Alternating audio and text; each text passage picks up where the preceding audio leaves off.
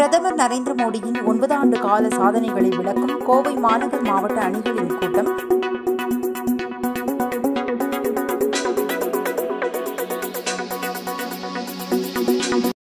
கோவை மாநகர் மாவட்ட தலைவர் பாலாஜி உத்தமராமசாமி தலைமையில் ராம்நகர் சுபஸ்ரீ மஹாலில் நடைபெற்றது.